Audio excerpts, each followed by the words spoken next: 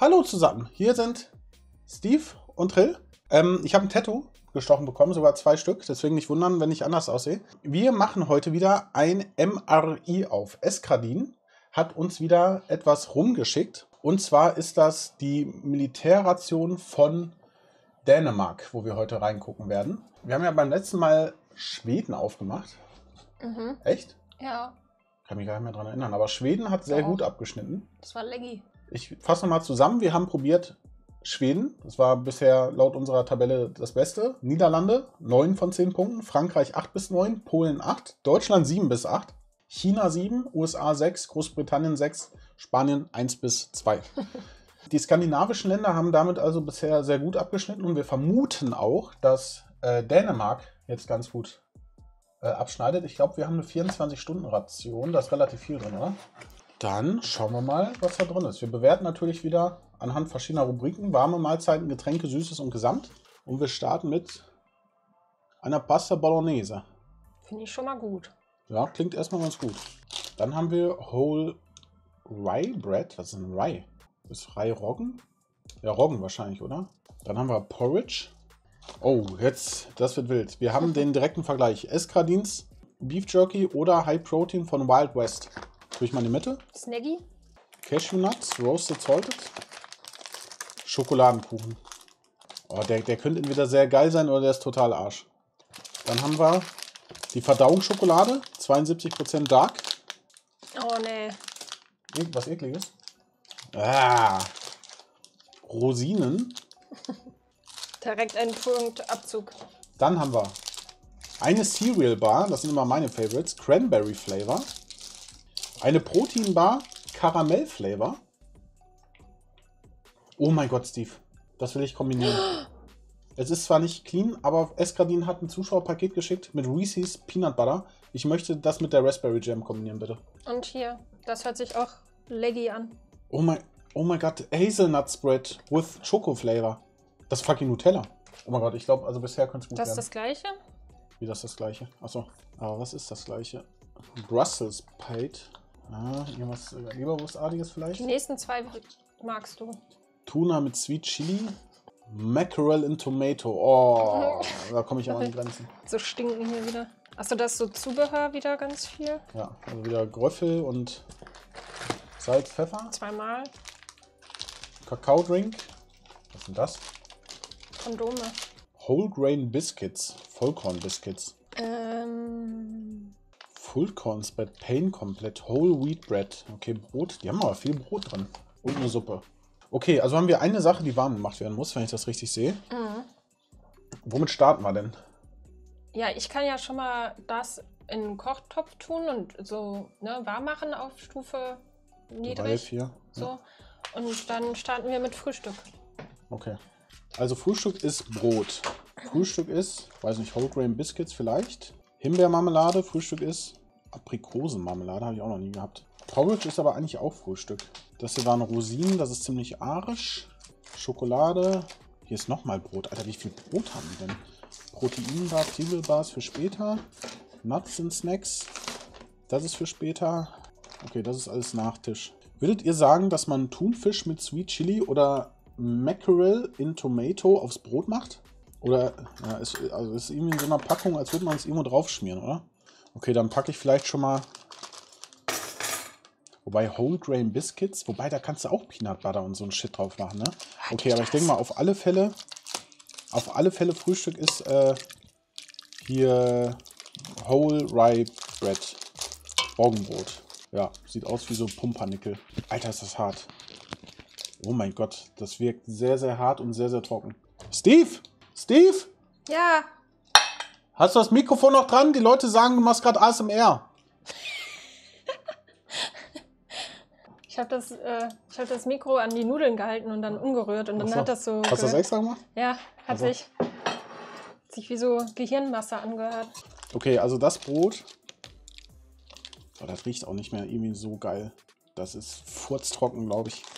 Okay, aber das haben wir. Und dann gucken wir mal hier in unseren nochmal Whole Wheat Bread rein. Ey, was ist das denn? Was denn das? Ja, wir haben hier auch, äh, hier Porridge haben wir vergessen. Ja, vielleicht skippen wir dann Porridge, oder?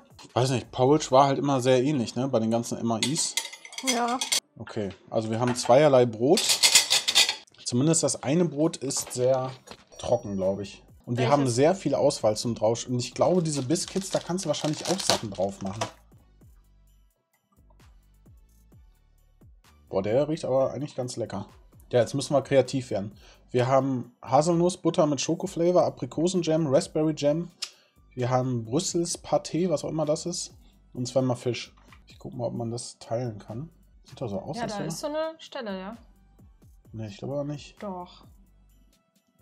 Jetzt komm hier nicht rum. Ja, äh, warte, dann lass doch jetzt mit dem Messer Ja, es machen. geht doch. Okay, sehr gut. Mein Gott, du bist ein Idiot, ey. Und das sind ja wohl, glaube ich, auch zwei. Ja, warte. Boah, das ist aber, das ist, ein, Klo- das ist trocken. Ja, okay, wir haben ja, wir haben einiges zur Auswahl. Was willst du auf deinem Frühstück Ich haben? will die Hazelnut mit Schoko. Ja, die wollte ich auch, aber den da drauf wahrscheinlich. ne? Ja. Okay, wir machen natürlich erstmal das geilste Hazelnut-Spread. Oh god damn. Oh, das war sehr flüssig. Du eine Ecke, ich eine Ecke? Okay. Also das werden sie ja wohl gerafft haben.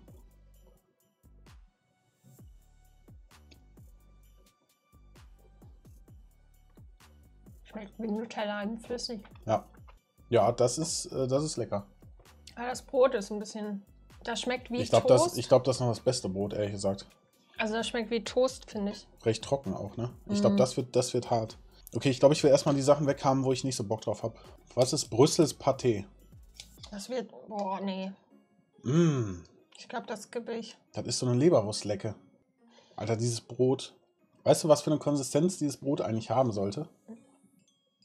Nee. Auf jeden Fall keine, wo du mit dem Brot in eine Leberwurst gehen kannst und einfach dippen kannst, weil es so hart ist.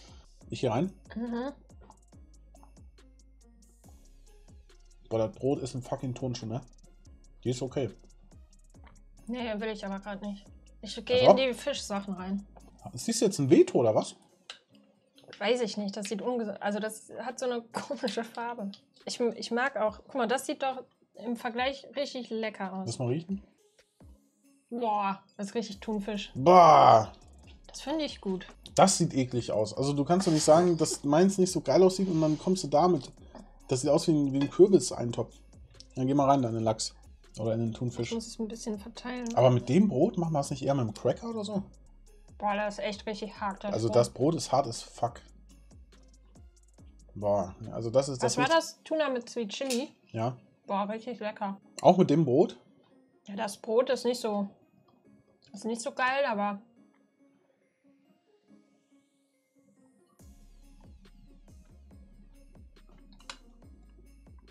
Also das würde ich aufessen. Also nach dem Sürströmmen ist alles andere Fisch lecker. Ja, geht. Ja, Also das kann ich mit nach Hause nehmen, das snack ich weg. ja, ja, ist okay. Ja, geht halt. Also ist, ich würde eher die Leberwurst essen, aber ja, geht auch. So, dann haben wir noch. Nee, du hast das andere, das war Mak Makrele. Ach, das war Makrele, echt? Das war Makrele. Das hat aber auch voll nach Thunfisch geschmeckt. Wahrscheinlich sieht der Tuna mit Sweet Chili jetzt. Und da war ja auch kein Chili drin. Stimmt, ja. Aber war lecker. Aber das ist gut, dass es so rum war. Weil ich Das glaube, ich aus. glaube gar nicht. Weil ich glaube, vor der Makrele hätte ich mehr Angst gehabt als vom Thunfisch. Stimmt. Ja, das, also das riecht mehr nach Thunfisch. Oh. Hast gerade die Nase da reingesteckt? Bist du dumm? Mann, Das ist Ich so horny auf die Thunfisch, ne? mit der Lippe da hängen geblieben. Soll ich einen Anfang machen? Ja, mach du den Anfang.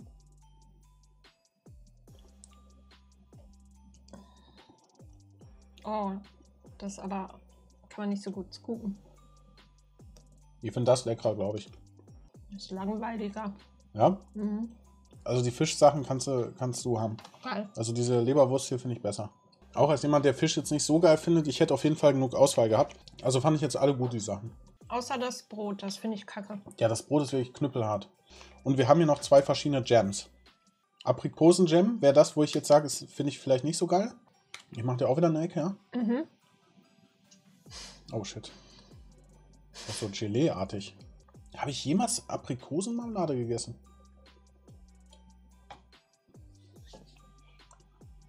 Mmh. Aprikosenjam ist eigentlich ganz geil. Ich mag ganz viele Marmeladen eigentlich nicht. Ich mag eigentlich nur Erdbeermarmelade. Mhm. Die ist aber nicht so schlecht. Ich glaube, ich habe noch nie Aprikosenmarmelade gegessen. Das habe ich gesagt, Aprikose auch safe. Habe ich noch nie gehabt. So, Himbeermarmelade. Die sind sehr dünnflüssig, aber Ja, weil du die nicht durchgeknetet hast vorher. Himbeer? Hm. Doch. Lecker. Ist nicht so meins. Ich finde die Aprikose leckerer. Dann nimm du die Aprikose. Okay, Ich nehme mal ein bisschen Hazelnut Spread mit Schokoflavor. Wow. okay. Für den Rest? Ja, was? Guck mal, was ich jetzt für ein Dreckschwein bin. Was machst du da drauf? Leberwurst? Ne, Himbeer. Ach, Himbeer. Himbeer mit äh, Schoko. Und mach auf die letzte Ecke auch nochmal ein bisschen Leberwurst. Ne. Ach, Ähm, zum Probieren. nee, die Kombi funktioniert nicht hier. Weiß nicht, bei, beides einzeln war geiler. Ja, weil die Leberwurst fehlt. Den Cracker müssen wir noch probieren hier. Das ist ein Whole Wheat Cracker. Weiß ich nicht. Also schlecht ist es nicht. Das schmeckt wie das gesunde Zeug in so einem Riegel drin. Aber ohne alles ist es schon recht trocken, finde ich. Deswegen probiere ich das nochmal mit Hazelnut.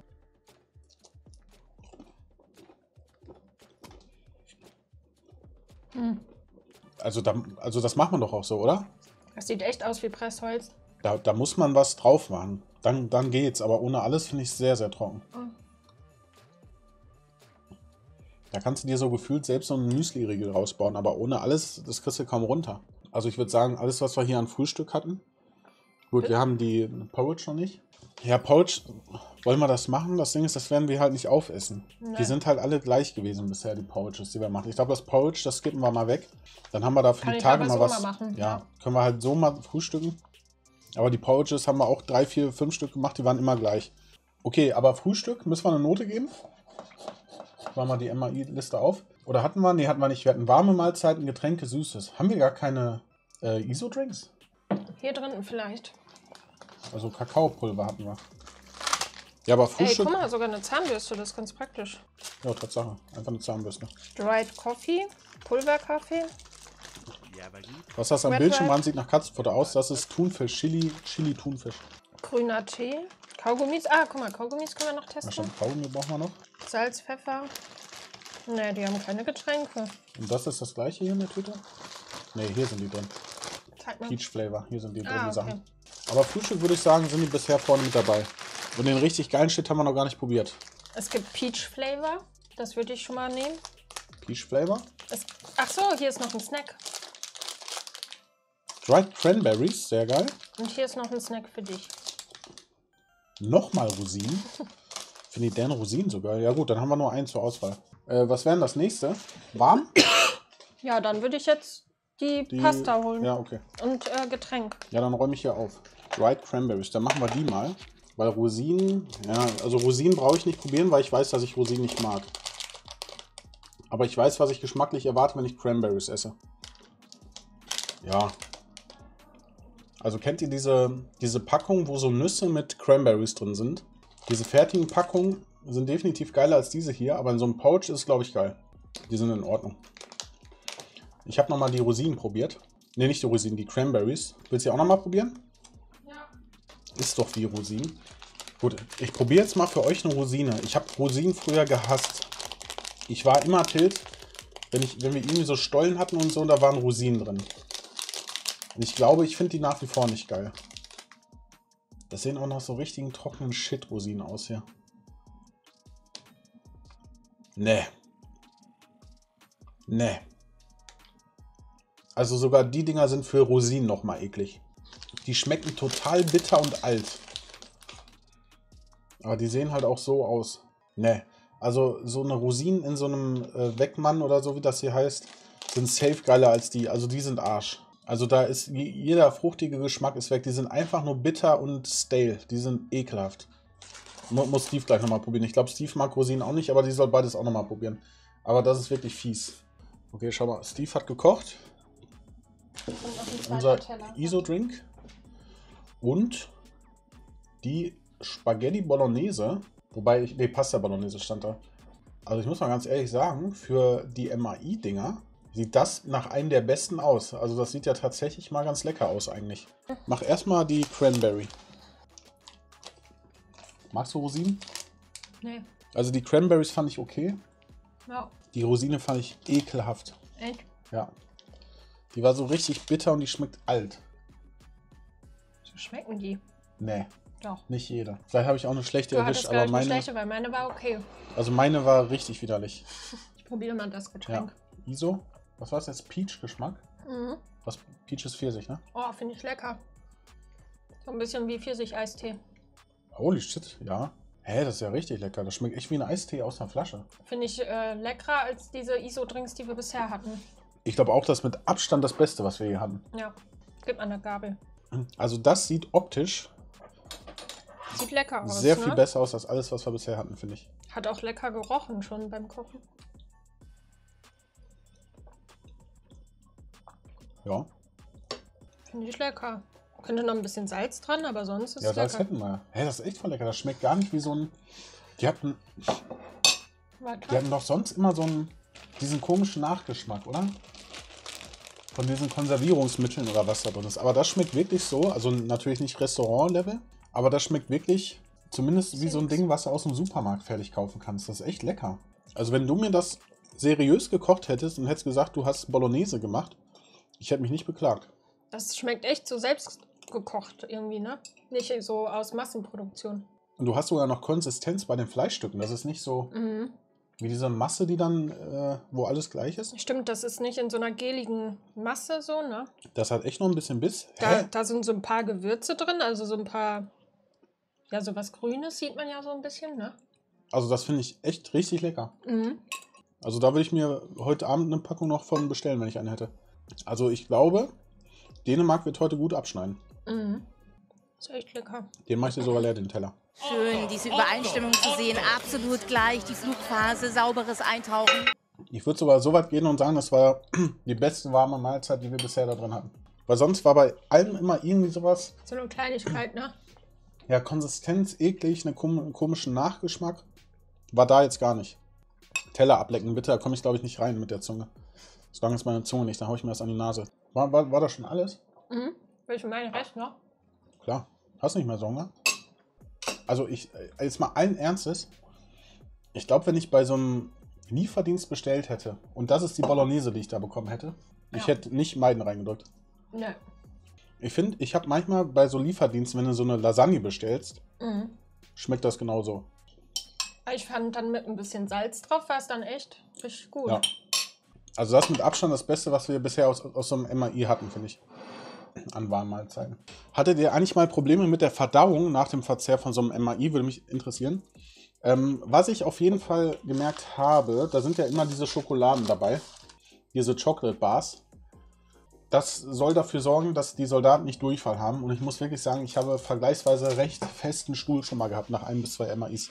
Ich hatte aber auch schon mal einen miesen Durchfall einmal. Okay, was jetzt? Also Schokoladenkuchen ist ja Nachtisch. Ja. Dann haben wir hier noch Snacks. Hier sind Proteinbars. Was haben wir da noch? Das waren nochmal Rosinen, glaube ich. Ne? Rosinen, ja. Ja, dann Magst lass mal ins Beef Jerky. Mag Franzi Rosinen? Nee. Ich kenne auch keinen, der Rosinen mag irgendwie. Also der richtig sagt, boah geil, Rosinen. Eskradin hat gerade im Chat geschrieben, er findet es geil. Echt? Ja. Können wir dem ja ins Paket. Ah nee, der kriegt keins, ne? Honey Barbecue Geschmack übrigens. Mhm. Ja. Mich stört ein bisschen, dass das alles so Würfel sind. Warum? Ja, weil ich finde das geiler, wenn du so, so eine, weiß nicht, in Anführungszeichen natürliche Form hast und das alles nicht so, so Vierecke sind wie so ein Stück Lakritz. Also ist ganz lecker, aber irgendwie fehlt, der, fehlt da so der Pep. Ein Kick. Mhm. Ja, ist okay. Also würde ich mich jetzt nicht beschweren, wenn ich das Nee. im Feld als Snack hätte. Kann man machen. Dann würde ich sagen, machen wir die Cashew Nuts. Weil Nüsse waren auch oft Hit oder Miss. Die waren manchmal schon so richtig stale. Kommt vielleicht auch darauf an, wie alt das MAI ist. Oder die waren sehr, sehr lecker. Willst du welche ziehen? Ja. Cashew.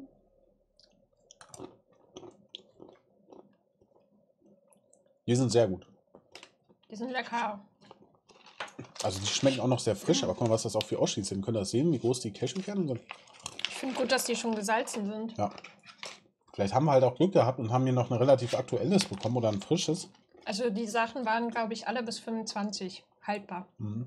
Ich meine, wir hatten auch schon mal, wir hatten einmal Erdnüsse, die waren so richtig stale und komisch. Mhm. Und die, die, die schmecken wie frisch, äh, wie heute im Supermarkt gekauft. Und Cashews finde ich auch die geilsten Nüsse. Also das auch Daumen nach oben. Ich glaube, die werden gut abschneiden. Was jetzt? Cereal Bar. Oder die Schoko erstmal? Ja. Ich meine, das ist halt auch bei allen das gleiche, die dunkle Schokolade. Für die Verdauung. Ja, dunkle Schokolade. Schmeckt halt, wie man erwartet, ne? Aber ist lecker. Ich mag dunkle Schoko. Kann ich mitnehmen. Ja. Boah, bisher aber echt äh, sehr gut dabei. Ich bin sehr gespannt auf den Schokoladenkuchen gleich. Mhm. Dann, das sind Rosinen, die können auch weg, ne? Ja. Das heißt, wir haben noch drei Sachen. Ja. Cereal Bar, Protein Bar und ein Schokoladenkuchen. Okay, dann haben wir erst Cereal Bar. Das ist jetzt Cranberry, oder? Wahrscheinlich, ja. Sieht ganz lecker aus. Also Mhm. auf einem stand doch Karamell und auf einem stand Cranberry. Ja, hier ist Cranberry. Mm.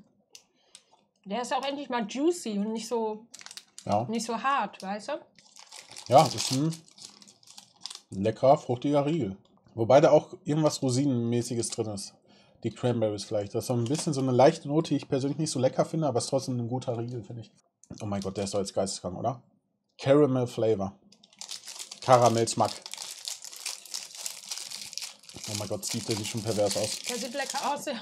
Oh mein Gott. Ich hoffe, ihr habt alle richtig Hunger beim Zugucken.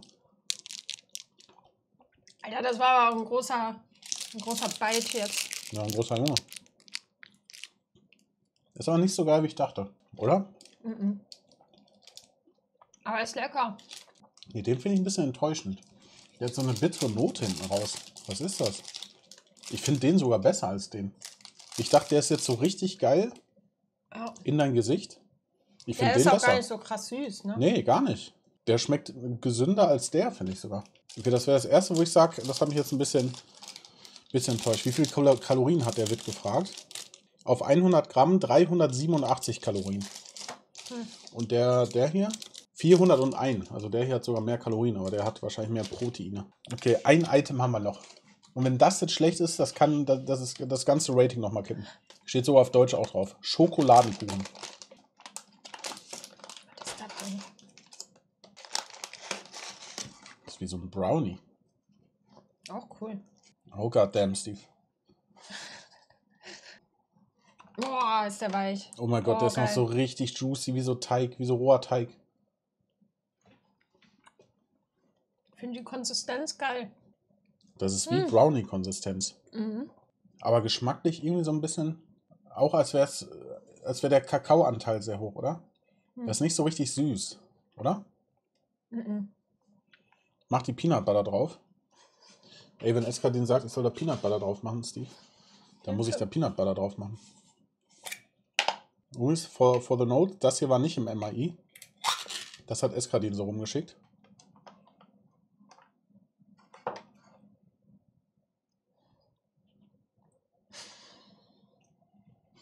Boah.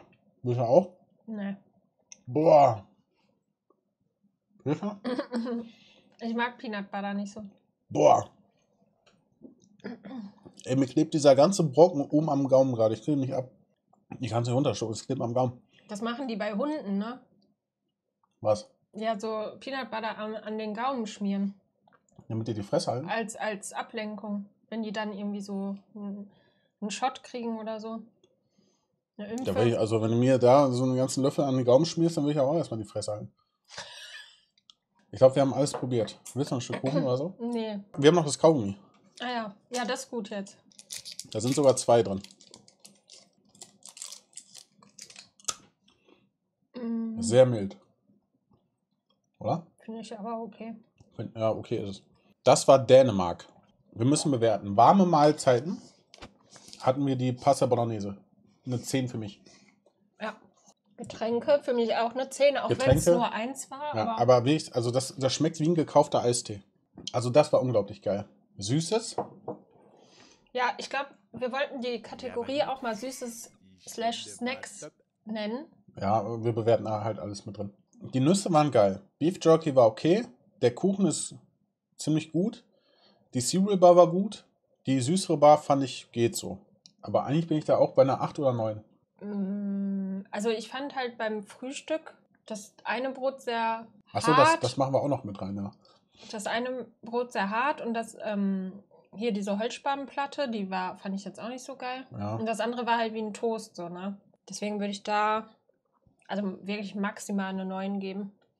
Ja, mit dem, mit dem Frühstück. Wobei Brot hatten wir oft so, dass das nicht mehr, also es ist natürlich nicht wie frisch vom Bäcker. Also eine 10 auf jeden Fall nicht. Dann hake ich, dann hänge ich zwischen einer 8 und 9. Was würdest du eher Ja, aber sagen? sonst Beef Jerky war lecker. Gut, die Rosinen kann man wegschmeißen. Die Cashews waren lecker. Cranberry kann man gut so snacken. Wir haben noch das Porridge, das wird auch gut schmecken. Die Aufschnitte hatten wir sehr viel Auswahl. Stimmt, und diese Fischsachen fand ich auch Ja, die lecker. Aprikosen. Ja, ist das eine 9 dann? Ja, War schon gut, ne? Ja, dann machen wir dann eine Neun. 9. Und das heißt, wir haben genauso benotet wie bei Schweden. Zweimal eine 10, einmal eine 9. Das heißt, Dänemark und Schweden teilen sich gerade den ersten Platz mit 9 bis 10 Punkten, Tendenz eher 10. Also Dänemark auch richtig, richtig gut. Hast du Hunger jetzt? Nee, du? Ja. Nö, ak akut nicht. Ich kann halt immer, ne? Aber Ja, willst du noch Beef Jerky oder irgendwas essen? nö, eine Schokokuchen wollte ich mir gleich reinziehen. Ja, dann zieh den dir rein. Ja, aber gleich, nicht jetzt. Achso. Ich muss heute noch über den Tag kommen. Okay. Ja, dann äh, hoffe ich, ihr hattet wieder Spaß beim Zusehen. Ich weiß nicht, ich glaube, wir haben keins mehr. Müssen wir mal gucken, wann wir nächstes Jahr dann nochmal eins aufmachen und welches das ist, weil so langsam wird es natürlich immer schwerer, welche zu bekommen, die wir noch nicht hatten. Aber dann natürlich auch wieder vielen lieben Dank an Eskadin Ja. für das MRI. Und ich hoffe, ihr hattet Spaß beim Zusehen. Lasst gerne einen Kommentar und Bewertung da, ein bisschen Liebe für Eskadin, auch auf YouTube. Und dann schauen wir mal, wann wir ins nächste reingehen. Dankeschön fürs Zusehen. Later. Hey,